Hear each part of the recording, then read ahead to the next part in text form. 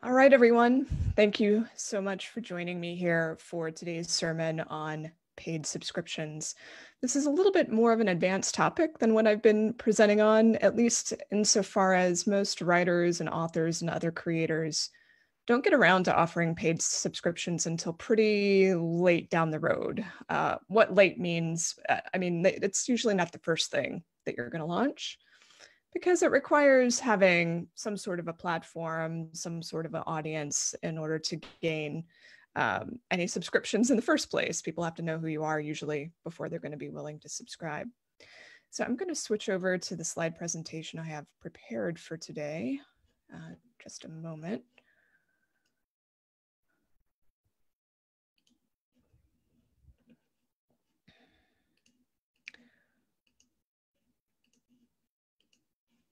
There we go.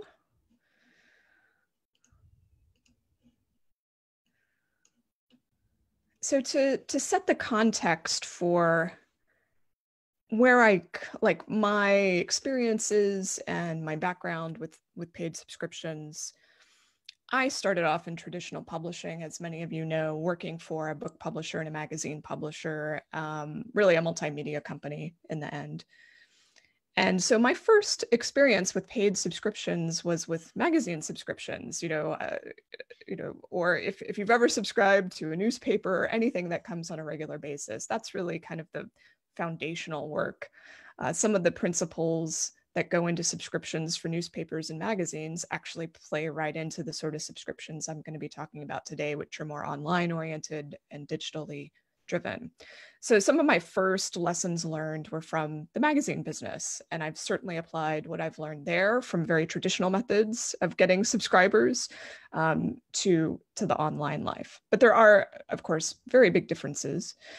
And the, the other thing that's happened, at least within the last gosh, it's probably been going on for a decade now, but it just feels like there's a groundswell of attention and interest currently within the past two years in paid email newsletter subscriptions um, in publications that need to put up a paywall because they're not getting the advertising revenue that they need. And so there's like almost every single industry that you look at today is looking at should we have a subscription model? How can we incorporate a subscription model in into the business? And you can you know this this is going back to like netflix and all sorts of streaming services that are subscription models. And then looking specifically at the author writing publishing community, um, subscription models tend to come into play uh, when you're producing content on a regular basis, whether that's nonfiction, short stories, something else, it could be a podcast, it could be a YouTube series. We'll, we'll look at some different examples. So let's begin. Uh, first, a little bit of definition around this. The, the terms here get very squishy very quickly. And so when I talk about paid subscriptions, I'm also sort of talking about membership models as well. And these terms tend to be used interchangeably. And I'll try to delineate between the two, but I'm also going to talk about them separately, if that makes sense. Uh, at least the way that I look at the different values that they provide and whether you want to call what you're offering a subscription or a membership. So when I talk about a subscription, I'm talking about something that's quite formal, something that arrives on a schedule. It's fairly predictable. People are signing up for something that they're going to receive. So the magazine, the newspaper, some sort of content. It could be digital, it doesn't have to be print, but you know, something that has a real shape to it. The difference between that and a membership for me, at least the way I talk about these things, is that a membership could be literally anything. You know, you could develop a membership that actually doesn't even give people anything meaningful. They get they just get to say they're a member you know they're a member of the club. Um, and when people join your club they might just be joining because they want to feel like they're part of an exclusive group. Um, but of course some memberships do offer really meaningful value and content of all kinds so again, I'm going to be using these terms a little bit interchangeably, but when I talk about subscriptions, I am talking about something that's a very formal offering with, with hard edges to it. Now, so that brings me to the one of the easiest ways to start a paid subscription today is either through Patreon or through another service called Substack. I'm going to mainly talk about Patreon for now because Substack is really just a tool, I think, uh, to support email subscriptions. I want to talk about Patreon because it's really, I think, in a, a, a super gray area uh, as far as is it a subscription, is it a is it membership, is it donation, is it crowdfunding? I mean, it's it's this amalgam of lots of different things, and people use it for different purposes. And so I find it sometimes quite hard to talk about what you use Patreon for because each writer, creator, artist, musician is using it in a little bit of a different way. So I think initially, you know, this is years ago when Patreon was first getting off the ground, it felt a little bit more like a more like a pure kind of patronage model. You were going to get your fans, your thousand true fans to support your work, and you would offer them some freebies or interaction along the way. I think Patreon has become a lot more sophisticated, at least in how people are using it. Uh, its costs have also gone up if you're if you're joining the platform late, in, in that they take a bigger chunk of your subscription or membership revenue. Um, and so you'll see people use Patreon to run what I would consider very formal subscription models, but this is a platform that's ready to go. You don't have to know any tech. It's a system for essentially creating a never ending pledge drive. And by pledge drive, I'm thinking about, you know, how NPR, PBS, they will have these spring and fall pledge drives and you and you can donate you know uh, on a one-time basis. But often they're trying to get you to pledge like $5 a month or $10 a month or a $100 a month. And so that's what patreon is. You're trying to get people to pledge that one dollar even if it's just one dollar i think that's the lowest amount someone can donate. Even if it's just one dollar a month you're trying to get them to come in at some level of support that they that's affordable for them. And in exchange what you're giving them it, it's very variable and it's also it can be tiered. So you know you might not really give much of anything to the person pledging at your $1 level but you might give a lot to the people pledging at the $100 level. So the principle with this th- with patreon and this would be similar if you've ever run a kickstarter campaign is that generally you are you know you have multiple tiers and each tier is rewarding people at a greater rate. In any event i think patreon is again an easy way to get started if you don't really have much uh, you don't have much in the way of tech savvy and you really need a platform that will help get you started. It's a really great starter tool beginner's tool but i think it does have some considerable limitations once you want to get really involved with how you engage with your community, with your members or your sub- subscribers, however you think of them. And I'll give you one example just right now. In fact, there is a Patreon that I've supported for at least, I think, a year now. It's called Study Hall. It's for freelancers, particularly freelance journalists. And they do a weekly newsletter and they have communities uh, like private groups that um, that trade tips and leads and secrets of the freelancing life. And so I, I support this. And they started on Patreon, but only like two weeks ago, they decided that Patreon was too limiting and they needed to move everyone to a website community model. So they're using a, a membership plugin on uh, are they using it? I don't, I actually, I don't know what tech they're using if I'm going to be honest, but they're on some sort of independent website that has a paywall. So that shows you, I bring that up only to, to make it clear that there are limitations to Patreon. I don't know that it befits really sophisticated models, but for most writers, it's super easy to start. Um, so Sarah is suggesting um, if you get a subscriber through your Patreon or maybe some other place, should you offer people a tote bag? And yeah, absolutely. There's definitely writers who offer what I would call the equivalent of a tote bag. Um, the author equivalent to that is my free ebook, like the first book in a series, or this free collection of short stories, or this digital download of some kind. Um, some people will send personalized postcards uh, to new patrons. Uh, so they're all the the only limit is your imagination. Like there are no rules around this. Like you get to decide how you're going to reward people or even if you're going to reward people. Um, so let me talk about just a few examples to, to put some definition on this. Four very different examples in my, in my mind. So Joanna Penn is someone who's I think, incredibly well established, advanced in her career. Patreon is not the center of her business model whatsoever. Now, for some writers, it is, and it's pretty amazing how that's happened. But uh, for Joanna, this is kind of a side thing, a way to get a little bit of extra money in the door to support her podcast, which is, has been going on for 10 years now. So if you become a patron of her podcast using Patreon, you're going to get some extras. You're going to get access to the archive and some other bits and bobbles that others aren't going to receive. But her podcast remains free. Let me be clear.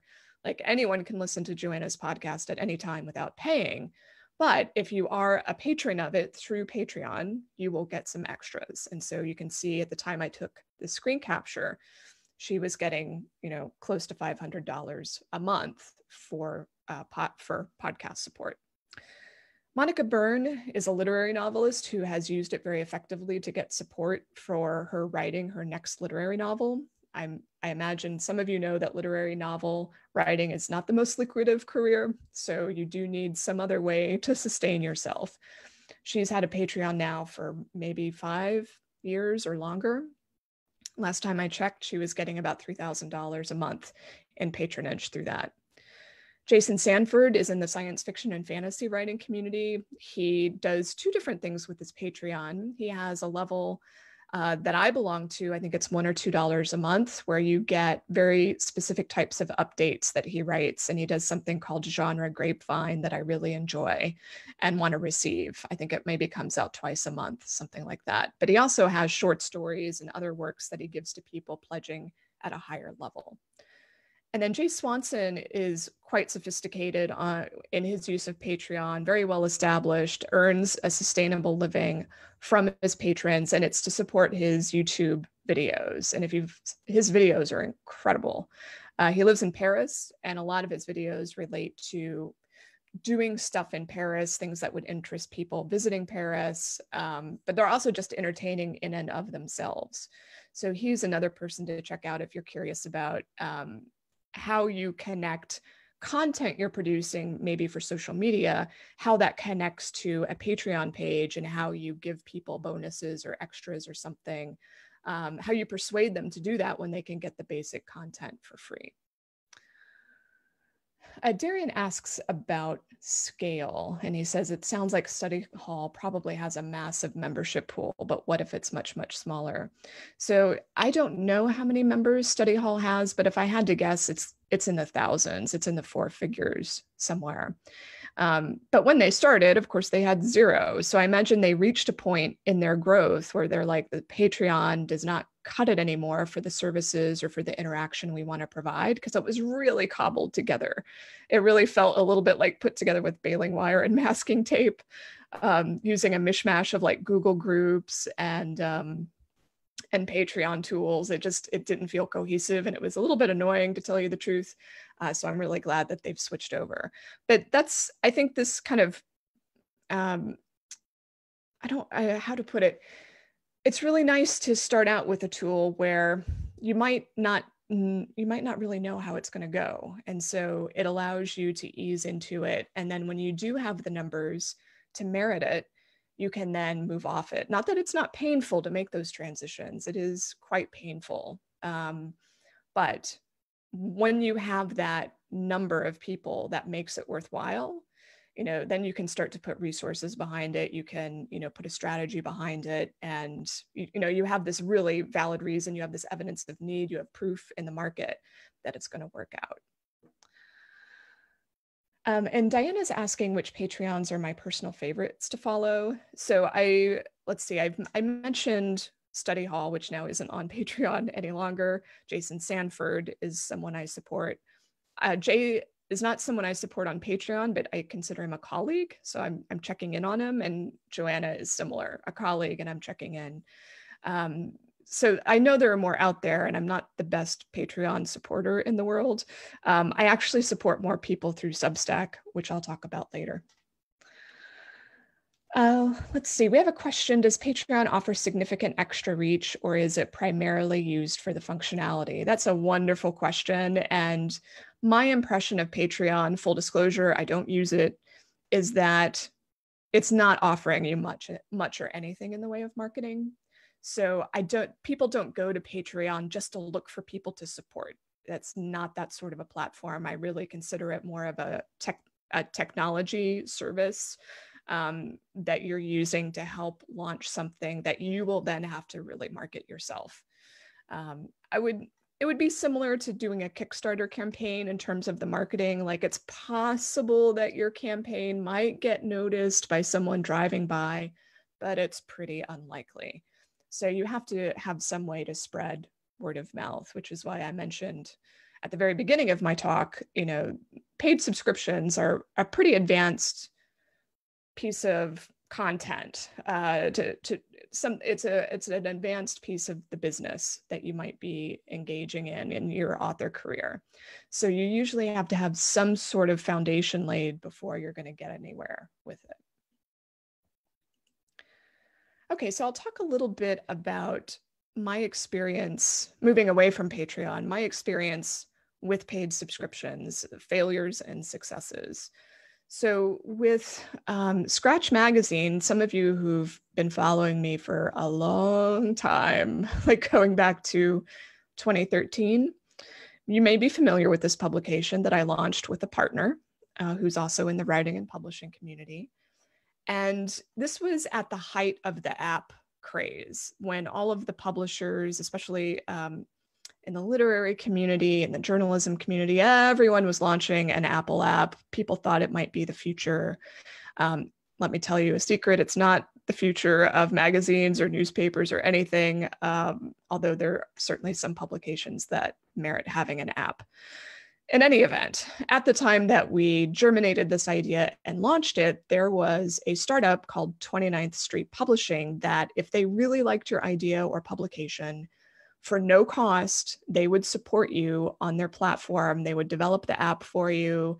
It would connect to your website, uh, meaning that you just upload the content to one place and it would populate the app and then it would populate the website. It had a paywall to it and it was all subscriber driven. So you had to pay and become a subscriber to access the content in the app or on the website.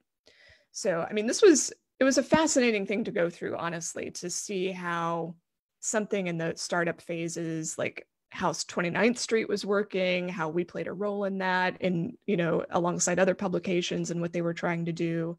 And then it all kind of spectacularly failed. it's um, but not necessarily because the publication itself was bad or the content was bad. Um, it, it's just it's not easy. It's not easy to pe- to get people on board reading stuff in an app to develop habits. Um, so we did a great job, me and my partner, in launching this magazine because it had a very focused niche. It was it was the intersection of writing and money. It was very easy to explain to people what the publication was about. Um, it wasn't hard to sell people on it. We got a thousand subscribers from the beginning, and we were replacing those subscribers when they fell off. So we had good growth. We weren't seeing a lot of churn.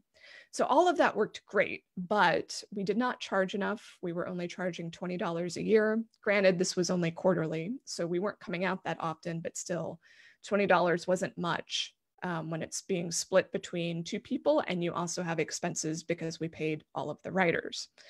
Um, and then the other issue is that Scratch reached its two year anniversary. Uh, by that time, I had stepped away for a lot of reasons I won't go into. Um, but on its two year anniversary, roughly, my partner, who was still carrying it forward, more or less made the decision to pull the plug because 29th, uh, because one of the tech providers that was being used, which would be similar to a Patreon, um, it wasn't Patreon, but it was very similar. Uh, they went out of business. So, you know, when you're relying on some of these startups or platforms, if they go under, chances are you're going to go under with them. If you don't have a ready other you know solution off the shelf solution it just causes a lot of heartache um, when those things happen. So that was a very different time though. I don't want to scare anyone. Like this was you know between 2012 and 2014 there were a lot of things getting launched a lot of experiments happening a lot of apps and other things um, there was a lot of investment a lot of money to be had for the, these sorts of initiatives um, and a lot of them have unfortunately failed so i don't think it's I don't think Patreon is in danger of going away. I think it's almost too big to fail at this point. But of course, it does raise the question of when you choose a service or a platform to build on, how confident are you that it's going to be around in another year or two years or five years? And of course, there's no guarantee uh, that they're not going to change the model on you or charge you more. Um, so there are always these issues to deal with whenever you're launching uh, a digital subscription of any kind. So the next subscription that I launched was the Hot Sheet, and this launched in 2015. And so we're coming up on its five year anniversary. And I also launched this with a partner, although it's now run wholly by myself. And this is uh, done strictly through email. So whereas Scratch was delivered through an app and through a website with a paywall, Hot Sheet is only email. You can't read it on any website or in an app. Um, that might change in the future, but it keeps things really simple, really simple and direct. And I don't have to worry about instilling habits in anyone to visit a website or to open an app. It's going to land in their inbox and they don't have to do anything, assuming that it doesn't go to their spam folder, which of course is always an ever present issue. So, you know, I've stuck with it for five years and I feel like that it, it, it succeeds where Scratch didn't uh, for two reasons it's charging enough. It's uh, $59 retail. It does get discounted in partnership with other organizations like Authors Guild. So it's charging enough to make it sustainable.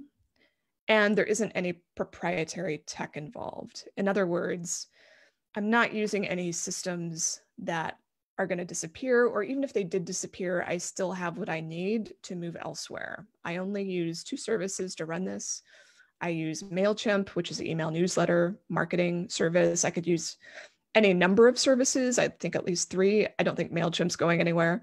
Um, and then I also use a system called ChargeBee to manage subscriptions and payments. Um, and there are lots of different companies and services that do what ChargeBee does. So I'm not really worried if they should go anywhere. I can still download all of my subscriber data and take it somewhere else. So I'm still in charge of that data. I still hold on to it. It's not going to be trapped anywhere.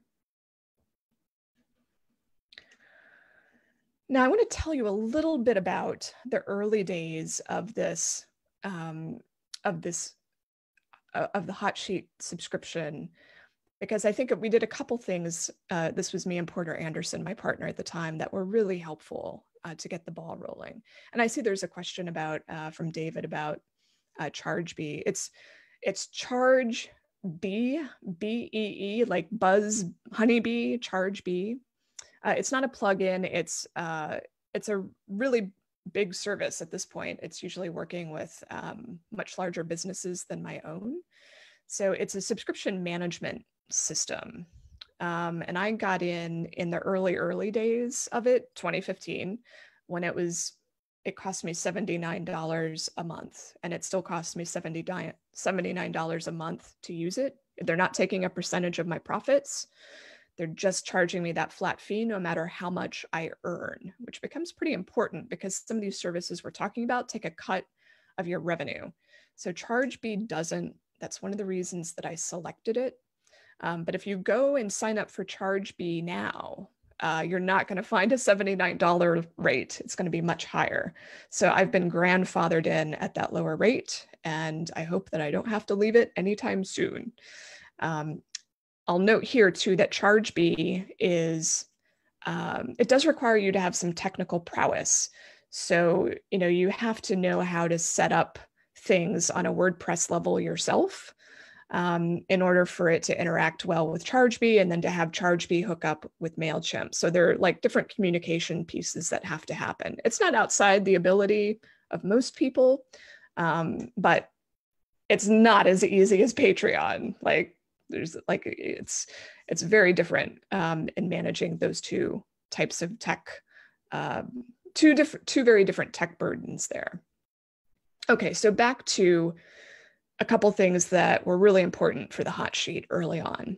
We did a soft launch with what we called our VIP list. VIP list were people who knew me and Porter really well. So they're people we had met at conferences, um, people who we had likely collaborated with, friends. those who, you know, we had years long relationships with, people who we would like to give them this publication in the hopes that they would read it and maybe talk about it. Uh, there's no way we would want to charge them. They they're they're too close to us in terms of collegiality or in friendship. Their value to us is much more in giving us feedback, telling us the truth about the publication, and in spreading the word.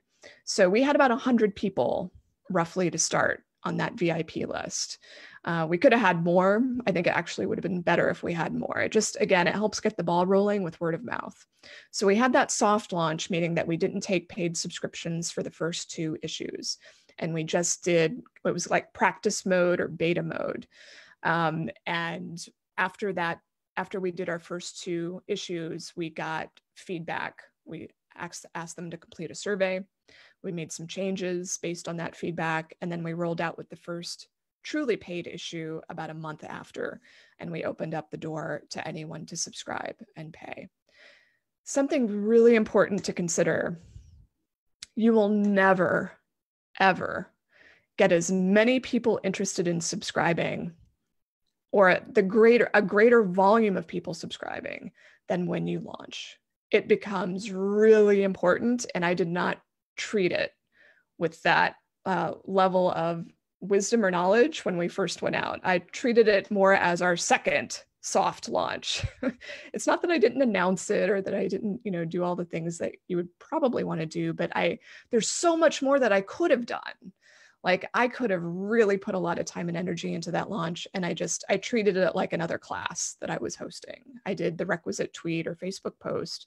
Um, I mentioned it in my newsletter, but that was kind of it um, looking back, I would have made a much bigger deal out of it because that is where you're going to have the highest level of interest and volume of subscriptions that you then have to build on um, for years potentially. You know, that's your base.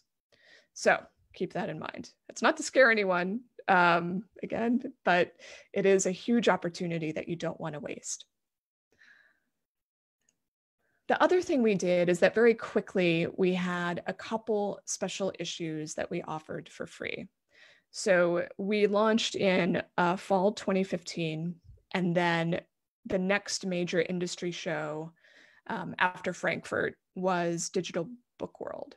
And so when Digital Book World came around in January, we both were there and we both reported on it, and we made that issue an extra bonus issue that we made free.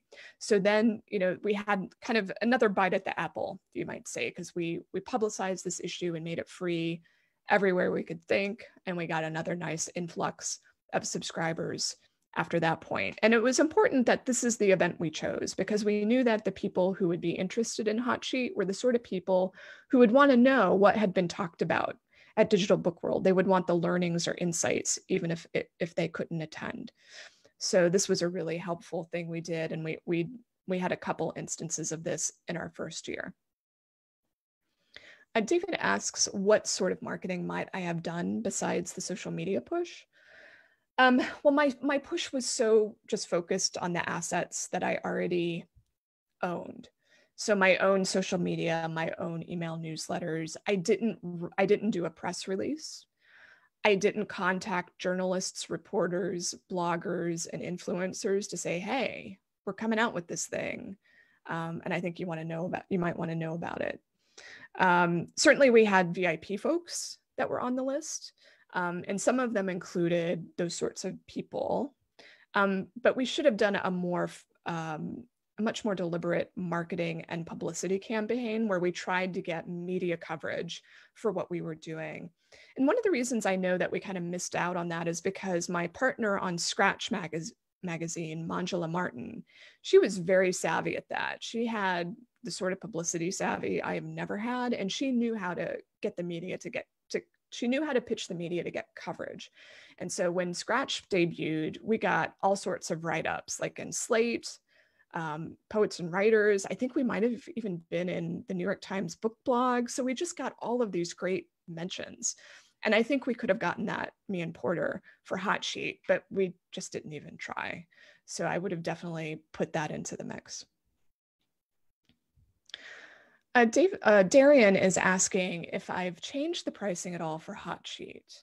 Uh, no, it stayed. It stayed at fifty nine dollars since the launch. I thought that we might raise it, but it's just never happened. Um, I think that it's possible the price will go up when there are more features. So, for example, if if and when I can manage to get the back issues available on the website and make them searchable, I could see um, either increasing the price for future subscribers or having different tiers of pricing for people who would like access to that archive. But 59 feels it feels about right, um, and I'm not I'm not super enthused about increasing the price based on what what's being offered at the moment. Um, as far as how you or any other anyone else should determine pricing, it's so it's so subjective. Like it, it and there's so many factors. It's going to depend on your market and the sort of following you have and what you're offering and like just so many variables. Um, but I will say, generally speaking, most people aren't charging enough. So if you are setting a fixed price, like on Patreon, you're not necessarily setting a fixed price. I mean, you are you do have to decide what the tiers are, but people can come in low, they can come in high, they have some selection. For a paid subscription, they might not have a selection. It may just be this fixed price, and you have to figure out what that price is. Um, so I see a lot of people offering paid subscription newsletters in particular, and they're pricing way too low, in my opinion. If you're a professional, if this is business information that's going to um, just increase your business intelligence, give you the opportunity to make better decisions, you know, I think the pricing should be higher. Um, so definitely look at your competition or look at the market and, and make a decision that fits you. But again, generally, I think people go too low. Uh, there's also a question about whether the MailChimp account that I use to run a Hotsheet, if it's, um, do I just have one MailChimp account? Um, so it sounds like Darian knows that I have a much larger list than I do. So the Hotsheet MailChimp account that I use is totally separate from the rest of my business that I send email from. So uh, if you've received, if you receive Electric Speed, if you receive my daily blog alerts, that's that stuff is serviced on a different MailChimp account. Hotsheet has its own dedicated account, and I would suggest that if you're planning to do something like this. And then another question, um, if you are membership based, if I were to estimate what percentage of my current base is made up of the original base, a wonderful question. It has to do with retention and churn, which are really critical for having a, su- a successful script, subscription service. How do you retain people and not lose them? And it's really hard for I haven't looked at the numbers lately, but I will say that in our first year, maybe first two years, we had roughly a 50 to 75% retention rate if I had to look at it now, I it's probably lower. It's probably because you just lose people. So it's probably between 25 and 50% if I had to guess. There are people though who drop off and come back on. Um, so it's a for some people they only subscribe when they feel like they're really missing out or when they can afford it or you know when they're at, at a different point where they feel like they actually have the time to consume it and this is important i think some i didn't plan to discuss but I think some newsletters, in their good intentions to provide as much value as possible, they actually increase the burden on the person receiving it. And if you don't have time to consume what you're given, you will you will more likely unsubscribe because you're like i'm paying for something i'm not using. So saving people's time it should be a serious consideration. And i think hotsheet is actually uh, has made the same error that a lot of publications make. I think it's probably too long I think a lot of people don't get through it. Um, and so if I were to make it shorter, if I were to make it more frequent, that actually might be a better decision. But that's those considerations are fairly complex, and I'm, I'm going to set them aside for today's sermon. Uh, within the last year, I did do some really important housekeeping work for the hot sheet where I redid the landing page for it. So by landing page, I mean this is where people decide if they're going to subscribe or not, where they sign up. The language you use on this page is pretty critical. Uh, that might be obvious, but uh, again, I think I took a little bit too much of a casual attitude toward it.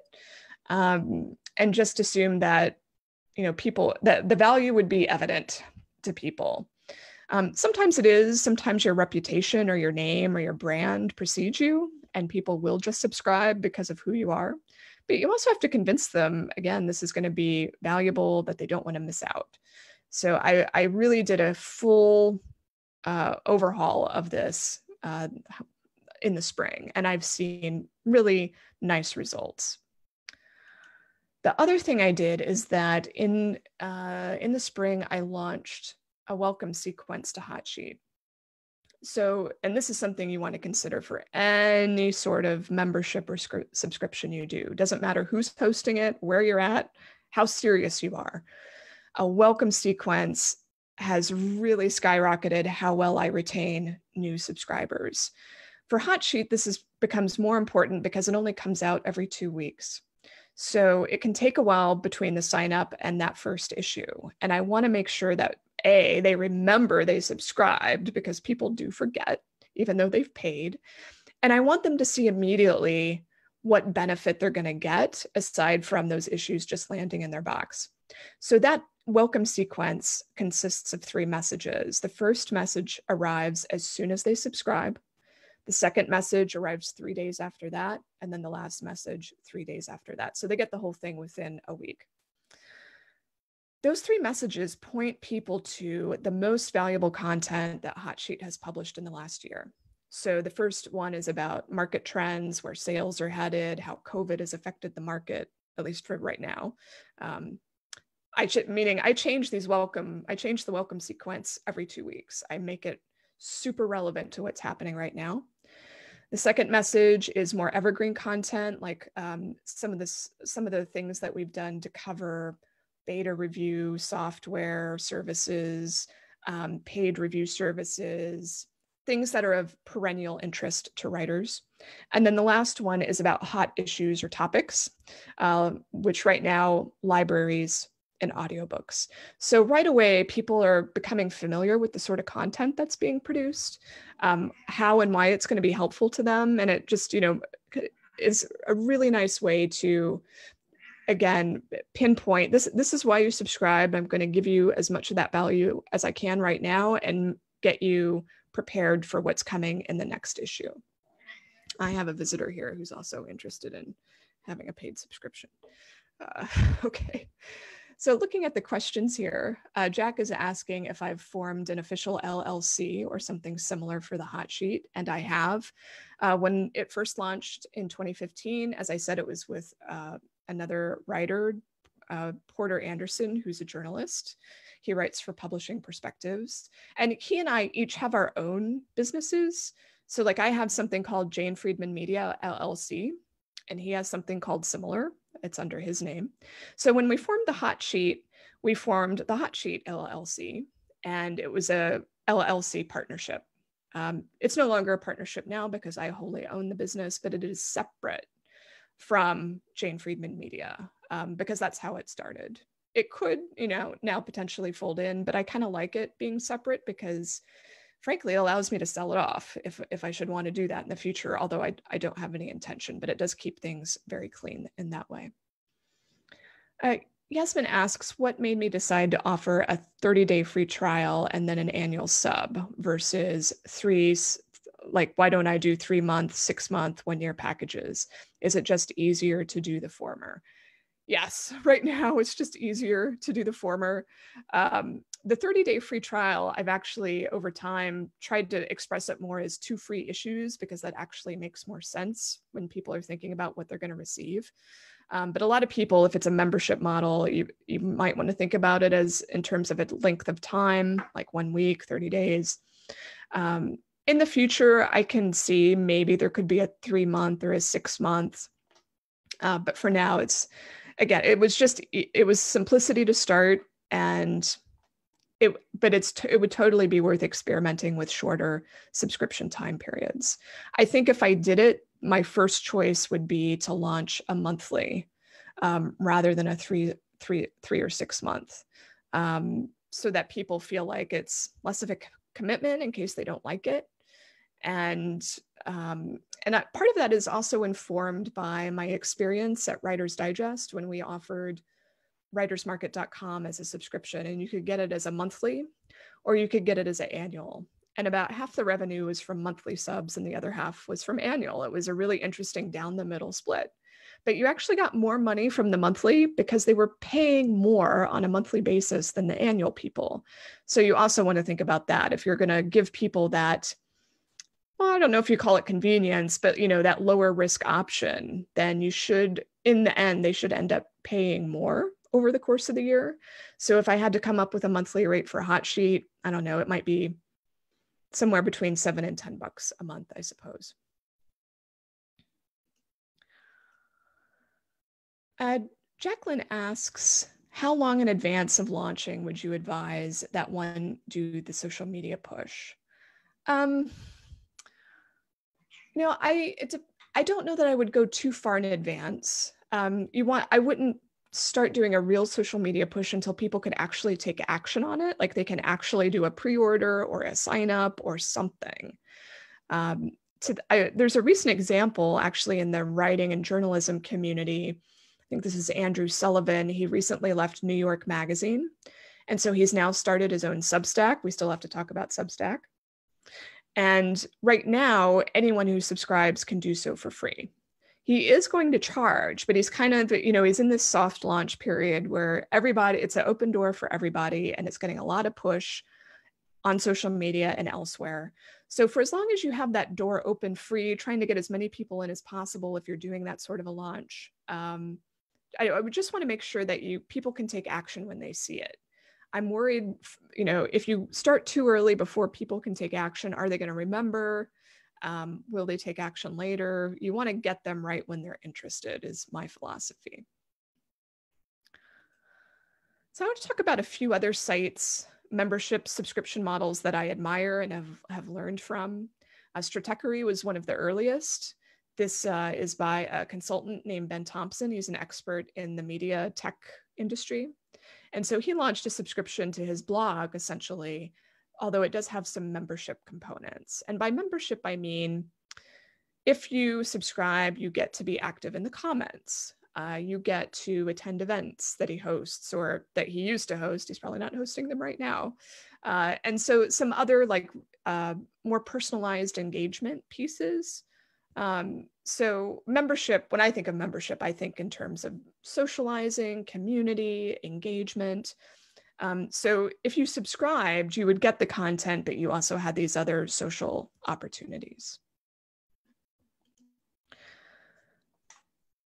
The information is something that partly inspired me with hot sheet Again, this is uh, focused on the tech industry, and it was launched by a journalist who used to write for the Wall Street Journal doing tech reporting. And it's now it's not just her, it's a huge team at this point of people doing tech reporting.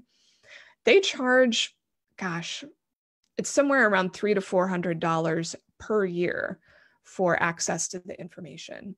And they have since rolled out different types of um, shorter term models. I think now it might be possible to get sh- like months to month or short, at least shorter terms.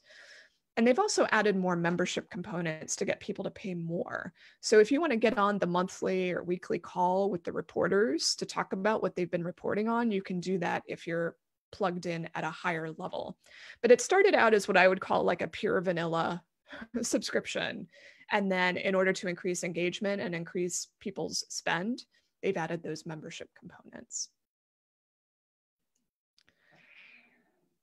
There's a community called Indie Thinkers that I just recently stumbled on. And this is where uh, kind of academics go if they want to be more entrepreneurial and maybe leave academia. It's a pretty interesting community. And this isn't really a sub, I don't consider it a subscription model at all. I consider it kind of a pure membership model where if you join for this monthly fee, you get access to a community board. You're going to get access to joint work sessions to keep you accountable, monthly conferences. And the the moderator or owner of this community does do tutorials that are behind the paywall, like, you know, how to set up your MailChimp newsletter or how to do a great podcast, or I don't really know what's behind there, but I'm just imagining what might be there. So, but it's not necessarily on like a scheduled basis, like you're going to get one tutorial a week. It's just like there's a library and there will be more as time goes on. So that's uh, to, as I mentioned earlier, it can be really squishy, this difference between sub and membership. So I consider this more of a membership type of site. Another membership site that you may have seen and maybe even paid for is Manuscript Academy, which is a spinoff of the Manuscript Wishlist uh, initiative that was started by uh, an agent. So if you're not familiar with Manuscript Wishlist, uh, definitely worth checking out. It's where editors and agents, it's a Twitter, a Twitter hashtag that agents and editors use to talk about what they want to see submitted to them. And so there's an entire site devoted to this, and then the Manuscript Academy has spun off. And so if you pay a monthly fee, you get access to all sorts of education and uh, classes and so on. All they also have like one-off opportunities. If you don't want to become a member, you can pay to just take this one class with this one agent. If you're thinking about the differences between subscription and membership, and I know I've probably been clear as mud in delineating the two, um, here's a quick kind of a quick a-B comparison. So for membership products, I think about it in terms of getting exclusive access, exclusive content, a high value community of like-minded people. There's a reason to remain in that community, a compelling, continuing reason. And you want to feel part of something, you want to belong to something. Subscription product, which is how I categorize Hot Sheet as well as, you know, Scratch when we had it you have a very consistent, reliable, by the clock publishing schedule. There's there's probably less interactivity or community, but you could still have those components. And the content is solving a problem for people, or it carries a really high benefit. It's something people aren't going to get anywhere else. As far as the tech for doing all of this, on the membership subscription side, I've already mentioned Patreon. There's also for if you're really adept at WordPress, you can use things like Memberful. And Podia is a platform that's where you would actually build your membership site. It's not connected with WordPress. You would just build your whole offering on Podia, Podia, however it's pronounced. And in an earlier sermon, I talked about my use of Restrict Content Pro and WordPress. So if you're curious about creating a membership site, or a subscription site with a WordPress plugin, you might want to take a look at the sermon from two weeks ago all about WordPress and these plugin systems. If you're interested in running a paid email newsletter, I, I talked about myself using Chargebee and MailChimp, but that is a pretty advanced setup for the average person. It would also probably be too expensive since I got in on Chargebee at the ground level. There are two big players right now if you run want to run an email subscription newsletter that people pay for or that has a free component. You can have a, a like a, a freemium model or a melded hybrid model. Substack is definitely the one that's getting all of the attention right now. It's getting written up in lots of publications as, you know, where journalists are going after they get laid off. They go to Substack and they start, you know, getting paid by readers. And then there's also something very similar. It basically does the same thing, Revue, R-E-V-U-E, as you see there on the slide. So Substack is, is pretty fascinating. It did not exist when I launched Hotsheet. If it had, I would have been really tempted to use it just because it's so streamlined. It takes out all of the guesswork. And now Substack is doing a lot of support services for the people who use it um, it's doing grants it's it's offering some marketing it's you know it's trying to help its creators do better. So if you are looking for a system that might possibly reward you or feature you or just make you feel more like a community like you're in a community of other people doing the same thing you might want to take a look at substack. However just be careful. It has a lot of venture capital money in it. Um, I don't I don't think it's profitable yet. Um, but whenever I see a lot of venture capital money, I get a little a little hesitant because it's it, it can cause changes to the model or to the business. It can create pressure. And then they start doing things that aren't good for you, but that are good uh, for venture capitalists. So just be cautious. Um, certainly, as I mentioned with Patreon, you could use Substack as an easy way to get started, to grease the wheels, uh, to take off the burden of figuring out the tech side and just start rolling it out. Um, and then in the future, if you want to do something that's more entrepreneurial, more free and independent, like what I'm doing with Hotsheet, then you can do that. You can download your subscriber list and go off into the sunset with it. Um, they're not going to keep that from you. So you're not locked in at the very least. You can leave if, if you need to. Helen asks if I see Substack readers more as a business to business audience or consumer. I see it as very much consumer. So, like I just mentioned, Andrew Sullivan, who was at New York Magazine, is going to it. There are so many writers that are flocking to it or have flocked to it over the last year or two. Um, so I don't see it as business to business at all. I mean, there may be that sort of use, but it's generally for it's, it's for you to reach your readership whoever they might be. But we're talking about readerships of individuals and and not like a business is going to subscribe. It's going to be a reader who subscribes. Okay so i've come to the end of at least my formal comments. Um, we've still got about 10 minutes until we hit four o'clock. I'll mention um, what's on the horizon. And then if you have more questions about memberships, subscriptions, get them into the Q&A box if you're with me here on Zoom. Um, so the next sermon will be in two weeks and it's actually an open Q&A. So whatever's on your mind, whatever you'd like me to talk about, whatever challenges you face, come to the open Q&A and we'll go through as many questions as we can together. So you can register for that by going to my website to the Sunday Business Sermon page. And then, of course, I have lots of online classes that are paid for throughout the year, and you can find those also at my website listed under the online classes tab. Uh, Rona is asking for a quick description of Revue. So just to go back to that slide for a moment. Uh, Revue is more or less Substack. It's just a, a, it's a competitor. There may be some differences between the two services. Uh, I don't know what they are, but they're performing the same function. They're sending a paid email newsletter. And let's see.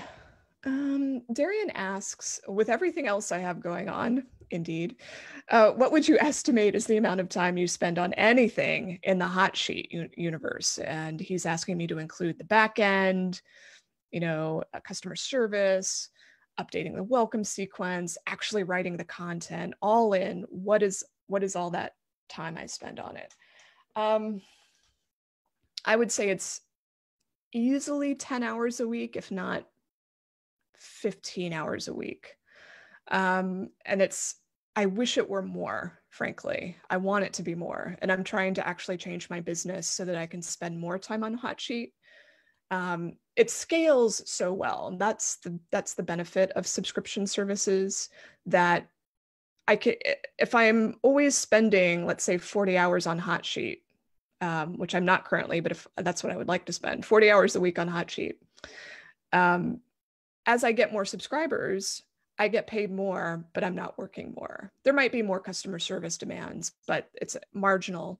Um, so it's just the scalability is much better than some other parts of my business so i can do i can do critiques and manuscript edits all day but there's only a set number of hours i have so that's one of the appeals of paid subscriptions that if you can get more people on board um, then you have the potential to obviously earn a lot more money without increasing the time spent um, i do have another person who works with me uh, my husband and business partner, Mark Griffin, and he does the customer service for Hotsheet. Um, now that he's he joined my business one year ago. Prior to that, I was doing all of that as well. I also have someone that I pay to do the copy editing because um, I don't want just my eyes on it. So I pay a copy editor to do all of uh, of the work after I'm done writing. Mark loads it into the system, and yeah, and then I handle all of the WordPress development that's required, but it's pretty minimal because it's just a landing page. Um, and then the other question from Darian is, uh, I said that there's no archive of Hotsheet to access, and that some plant at some point I plan to do that. Um, so would that mean giving something, giving people something else until it's done? If someone wants access right now, they have to email me. And then what do you do? Yeah, so wonderful question. So if you're a hot sheet subscriber and you want access to the back issues, to the archive, I have a list of links that I have to send. It is a really long list of links, five years worth of issues, five, five years of links.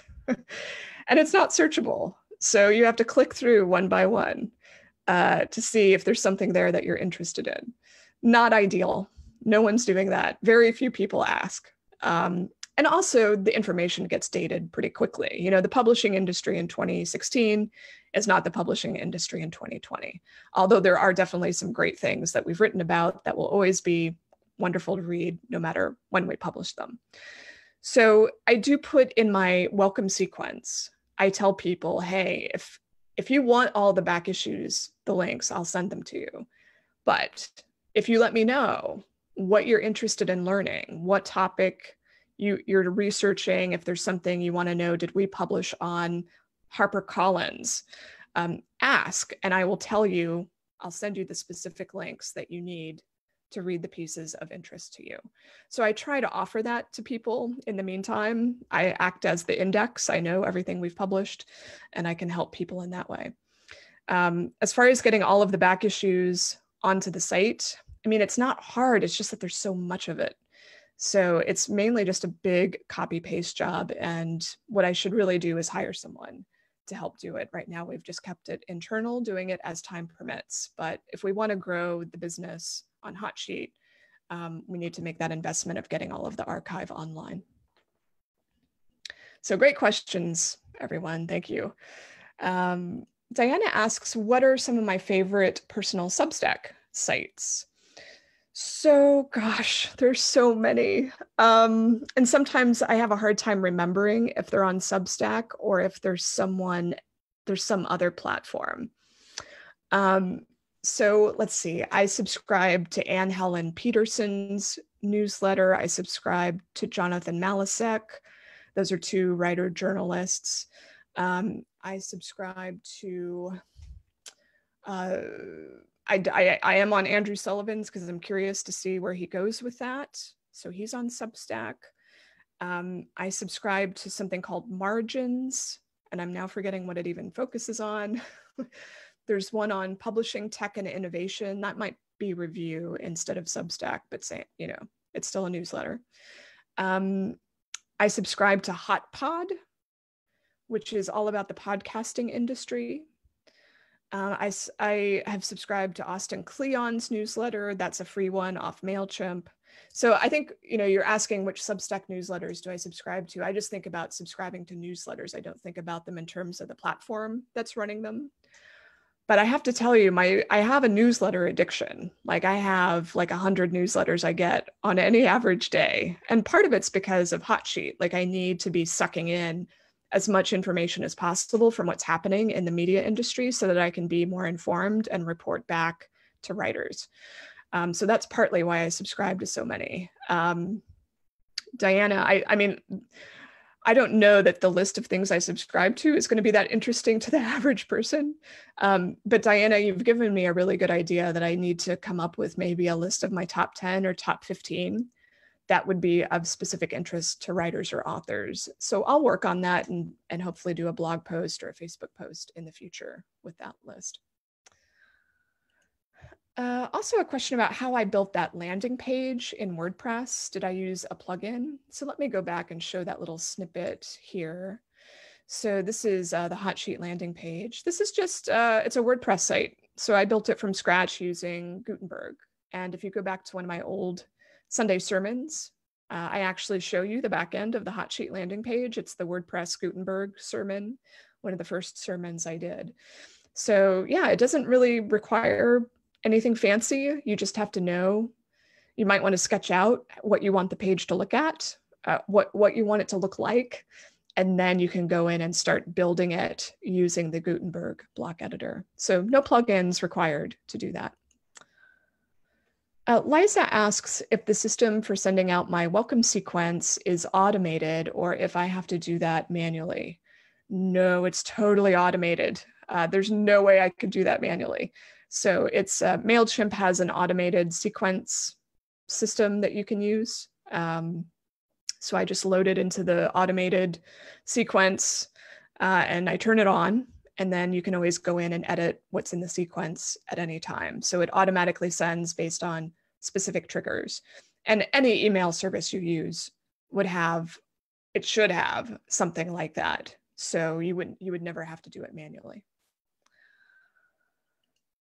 Uh, Liza asks if the system, or no, I just covered that, sorry. Uh, Yolanda asks if the MailChimp sequence uh, is a paid feature or can free accounts use it? Oh, that's a good question. I think it's a paid feature only. So if you want to use that feature, I think you're going to have to upgrade, or at least that's my impression. I don't think you're going to be able to do that um, without paying. And last question, how did I decide on the welcome sequence frequency? Uh, it's gut, it's just gut instinct. Um, but I do believe in having that first message appear right away. So, like within 24 hours. And then the rest of it will probably be dictated partly by how frequently you're sending out whatever it is you're sending. So, Hot Sheet's only every two weeks. So, you know, I want to make sure that people are going to get at least a couple messages before that issue comes out. So, I set it at every three days. I could have set it like daily just to have it come out like if you sign up Monday, you get your first email Monday, your welcome email, then you get welcome two on Tuesday, welcome three on Wednesday. I think that frankly would be fine as well. But I also know that if people click on the stuff I'm telling them to click on, they're going to get sucked into something that's going to take them a while to read.